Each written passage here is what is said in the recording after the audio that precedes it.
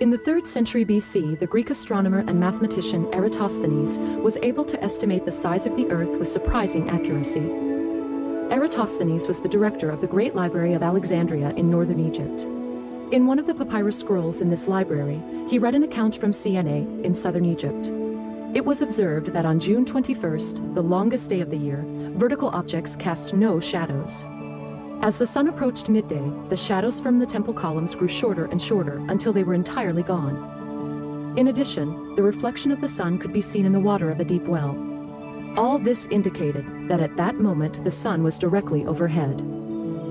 Eratosthenes tried to reproduce these results in Alexandria on June 21st and found that there vertical objects did cast shadows at noon. From this discrepancy, he concluded that the Earth must be curved.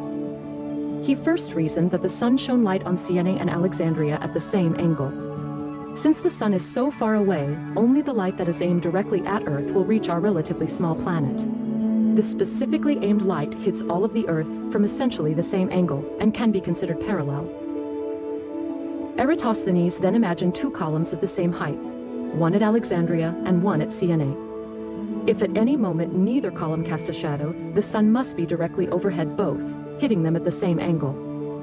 Even if they cast shadows of equal length, the sun would be shining on the right angle, formed by the columns in the ground, from the same inclination, a scenario only possible on a flat Earth. However, this was not the case. For the parallel rays of sun to be hitting the columns at different angles, the surface of the Earth must be curved. Eratosthenes reasoned that the greater the difference in shadow length, the greater the curvature of the Earth.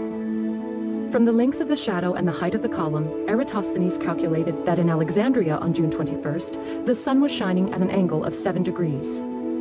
Using Euclid's geometry of parallel lines, he deduced that if the columns at Alexandria and Syene were continued underground, they would eventually meet at the exact center of the Earth at an angle of 7 degrees.